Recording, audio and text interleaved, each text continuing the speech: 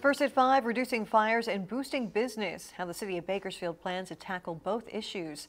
Thanks for joining us this evening. I'm Rochelle Murcia. And I'm Michael Patterson. Bakersfield City Council is taking steps to adopt an ordinance that requires vacant property owners in parts of Bakersfield to post no trespassing signage on their vacant property.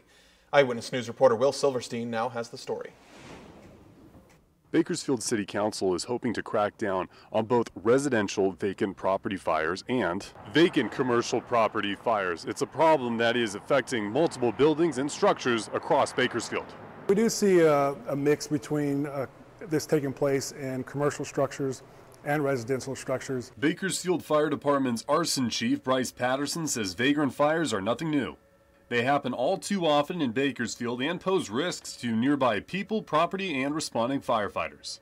We do see more criminal activity involved with people breaking in, uh, doing drugs, and also uh, setting those buildings on fire, which uh, poses a risk to the neighboring residents and also to firefighters responding. 1412 Chester Place is boarded up. Chief Patterson tells us this is a site of several repeat burns, and this doesn't happen to just tens of places, but possibly hundreds of places here in Bakersfield a year. Last year, uh, we ran a little over 100 fires inside of vacant structures, and some of those fires were repeat uh, at that same address. I want us to get on top of it right now. Vice Mayor Andrae Gonzales says the Bakersfield City Council is doing that by issuing the Vacant Property Registry Ordinance. The ordinance requires owners of vacant buildings without a plan to sell their property to register the building with the building department.